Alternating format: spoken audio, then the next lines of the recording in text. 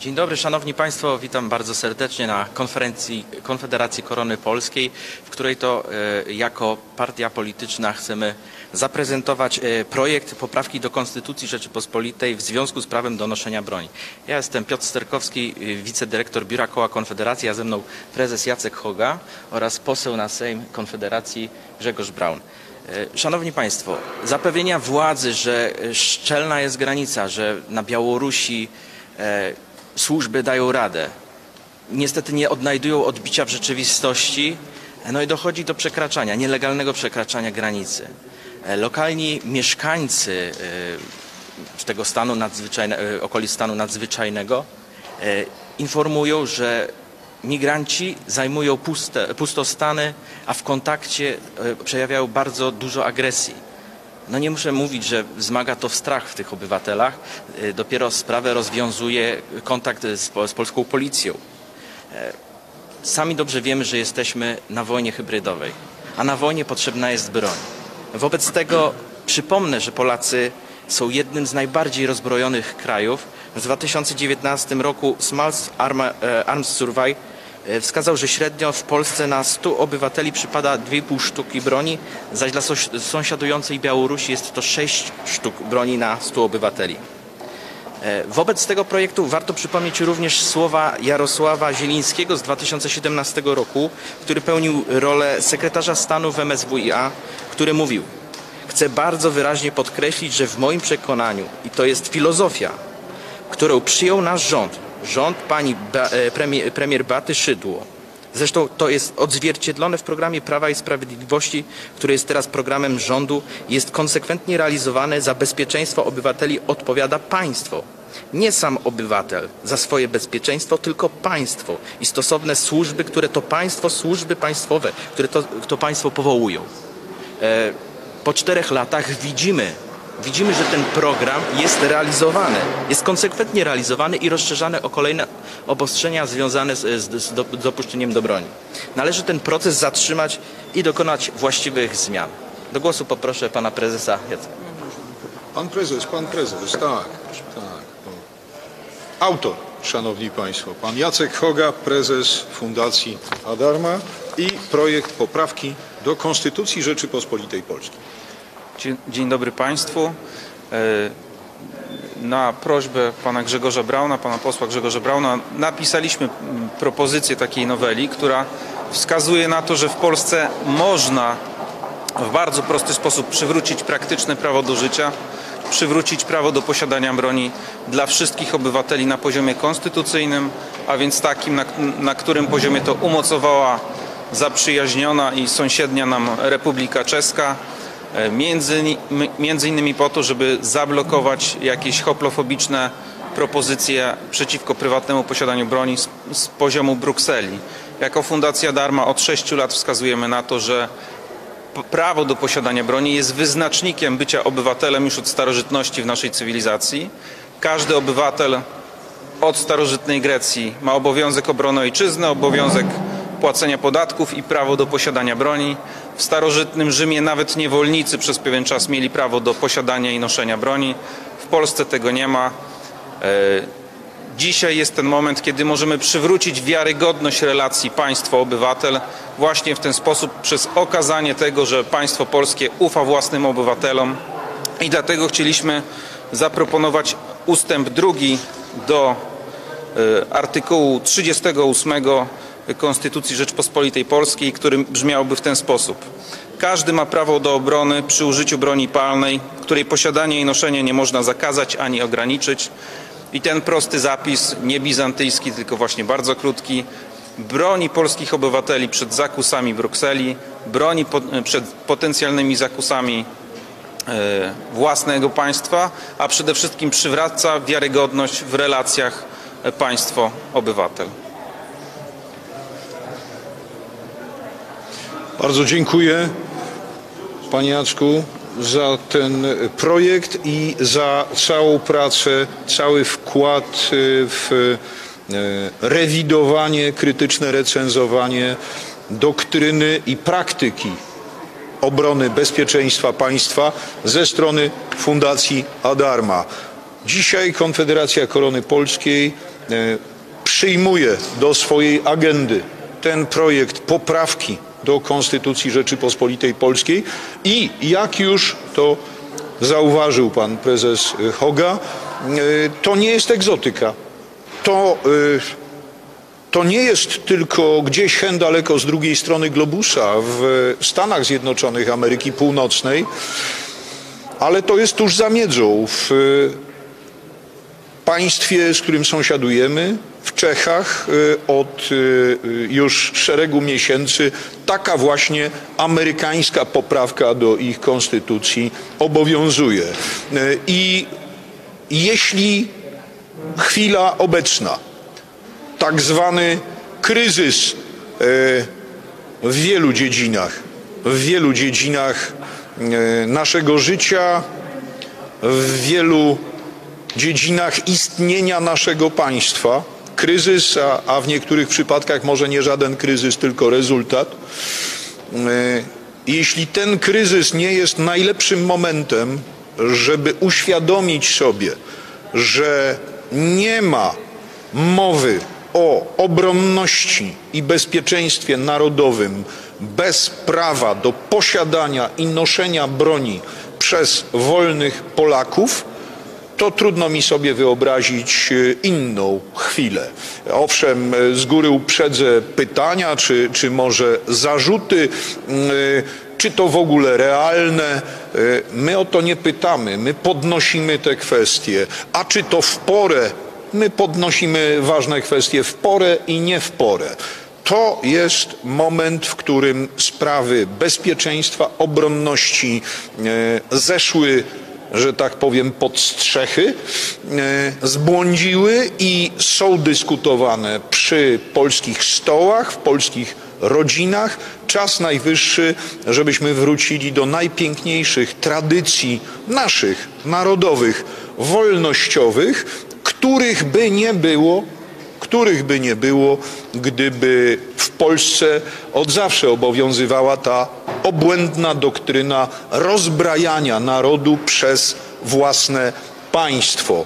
My tej doktrynie stanowczo się sprzeciwiamy. Przytoczone tutaj dane można jeszcze, jeszcze wzbogacić. No właśnie po sąsiedzku na Białorusi 6-7 sztuk broni palnej, gdy u nas 2,5, ale w Czechach, na Słowacji kilkanaście co najmniej sztuk broni palnej. W Niemczech, szanowni państwo, które Polacy traktują i słusznie jako taki momentami dla nas niepokojący wzorzec ładu i porządku kosztem wolności w tych Niemczech.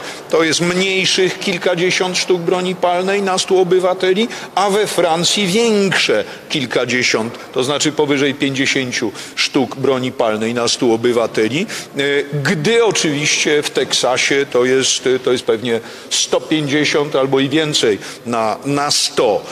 I my nie występujemy tutaj z jakimś egzotycznym projektem. To jest w cywilizowanych krajach norma. My nie upominamy się o jakieś specjalne prawa i wyjątki dla Polaków. My chcemy, żeby Polacy doszlusowali do tej bezpiecznej normy, którą mamy, dajmy na to, w Finlandii, którą mamy w Szwajcarii, którą mamy w Izraelu. To jest dla nas punkt odniesienia. To nie jest księżycowa poprawka, to jest właśnie próba sprowadzenia polskiej doktryny bezpieczeństwa i obronności na twardy grunt. Twardy grunt, którym będzie wyłącznie swobodne prawo do zapewniania bezpieczeństwa sobie, własnej rodzinie, własnemu domostwu na sposób, który każdy z Polaków uzna za, za stosowny. A ważna rzecz, w uzasadnieniu do tego projektu, w ostatnim zdaniu, taki argument, który może nie przemówi do, jeśli wcześniejsze argumenty nie przemówią do, do rozumu i serca rządzących, no to szanowni Państwo, najważniejsze jest to, że to jest projekt bezkosztowy. Że on nie rodzi żadnych kosztów budżetowych, wręcz przeciwnie, on rodzi wpływy do budżetu, podatek VAT, y, którym oczywiście obciążony jest obrót y, y, militariami, ten podatek byłby, zacząłby przynosić jeszcze większe dochody, co aktualnej władzy powinno się bardzo podobać. A zatem rzecz prosta, praktyczna, rozsądna, patriotyczna poprawka. Ja ją jeszcze raz przeczytam, żeby nie było cienia wątpliwości do artykułu, do artykułu 38 Konstytucji Rzeczypospolitej Polskiej. Radzibyśmy wprowadzić punkt drugi, bardzo prosty, łatwy do zapamiętania. Każdy ma prawo do obrony przy użyciu broni palnej, której posiadania i noszenia nie można zakazać ani ograniczyć. Koniec kropka. Tego chcemy dla Polski, dla naszych dzieci, wnuków. Dziękujemy za uwagę. Czy są pytania? Nie widzę, nie słyszę. PNP4.pl. Chciałem spytać, o czym Panów zdaniem świadczy powrót na antenę telewizyjną Krzysztofa Skurzyńskiego, jednego z dwóch głównych bohaterów afery mailowej. Wiadomo, że co do drugiego bohaterów, czyli ministra Dworczyka, to tutaj żadnych sankcji Mateusz Morawiecki wyciągnąć wobec niego po prostu nie mógł, no bo z maili wynika, że on o tej współpracy wiedział. Szanowny panie redaktorze, może najpierw jednak od góry zauważmy, że e, e, gdyby spotkała pana ministra wielkiego szpitalnika Dworczyka odpowiedzialność za tę rażącą niedbałość, którą, jak się zdaje, przejawił w podejściu e, do bezpieczeństwa państwa, e, w, uprawiając w tak niefrasobliwy sposób korespondencję na najwyższym szczeblu, e, to byłaby to odpowiedzialność, owszem, pożądana, konieczna w y, dłuższej perspektywie, y, ale to byłby ten najmniejszy z punktów w akcie oskarżenia, który mam nadzieję nie tylko historia, ale też i realnie prokuratura spisze i wystąpi z tym aktem wobec wielkiego szpitalnika Dworczyka, bo my oczywiście śledzimy ten serial mailowy, y, ale śledzimy też inne doniesienia, no i, i jak dawno temu, panie redaktorze, odwiedzał pan y, szpital na Stadionie Narodowym. Y, Na pewno warto tam zajrzeć, y, a są też i inne obiekty, których egzystencja jest sztucznie podtrzymywana przez takie patiomkinowskie e, inwestycje, e, niebanalne przecież kwoty dla budżetu państwa, jak e, szpital na Stadionie Narodowym. Dworczyk zatem, gdyby miał za same maile odpowiadać, to troszkę tak jak Al Capone za podatki, prawda? Nie można go było skazać za jego, za jego rzeczywiste największe zbrodnie, no to przynajmniej za podatki udało się go posadzić. Dobre i to, dobra psu i mucha, dobra, dobra Polekowi, Polakowi byłaby i taka, e, e, taka puenta tego, e, tego życiorysu tego tego niesławnego, niesławnego ministra. A co do tego, kto tam wraca, a kto wylatuje z telewizji reżimowej, szanowny panie redaktorze, no, z mojej perspektywy to, to jest coś ten pies się nie trzyma, więc powiem, to jest jeden pies. Czy to jest, czy to jest telewizja reżimowa zwana dla zmylenia przeciwnika publiczną, czy to są jakieś inne media gadzinowe z, z ulicy Czerskiej czy Wiertniczej, to jest jeden pies i że mamy tam roszadę różnych e, celebrytów, różnych postaci, osób, osóbek i, i osobistości, e, to nie zmienia faktu, że my, Konfederacja, z pod pewnymi względami, mogę nieskromnie powiedzieć, szczególnym uwzględnieniem korony, Konfederacji Korony Polskiej, w Konfederacji Wolność i Niepodległość, my konfrontujemy się niestety z e, kartelem e, manipulacji i przemilczenia, przekłamania i przemilczenia i ten kartel w sprawach najważniejszych dla Polski, dla bezpieczeństwa państwa y, jest odbiciem y, tej, y, tej wielkiej koalicji covidowej, z którą konfrontujemy się tu w Wysokiej Izbie. Niestety w kwestiach zasadniczych nie ma istotnych różnic w podejściach do bezpieczeństwa państwa w wymiarze czy to militarnym, czy ekonomicznym, y, czy w podejściu do, do kwestii wolności y, Polaków y, w wymiarze sanitarnym, czy, czy w wymiarze właśnie bezpieczeństwa osobistego, o, o, które jest tutaj głównym tematem naszej konferencji. Taka jest moja odpowiedź na, na Pana pytanie. Jeszcze raz dziękujemy za uwagę i jeszcze raz polecamy Państwa uwadze nasz projekt nasz, to znaczy Fundacji Ad Arma, pan prezes Jacek Hoga, podjęty przez Koronę, przez y, Konfederację Korony Polskiej. Projekt amerykańskiej poprawki do polskiej konstytucji, którą to poprawką gwarantowalibyśmy prawo do zapewniania bezpieczeństwa e, sobie, najbliższym własnemu domostwu przez każdego Polaka, e, ustanawiając niezbywalność i nieograniczalność prawa do posiadania i noszenia broni. Poza rzecz jasna przypadkami, w których sąd odbierze komuś wolność, w tym i prawo do posiadania broni. Bądźmy poważni, takie rzeczy powinny być decydowane właśnie w sądzie, a nie arbitralnie, urzędniczo, administracyjnie, niezależnie od tego, czy powierzymy tutaj rolę arbitra e, hierarchii e, służby zielonej, czy hierarchii służby niebieskiej.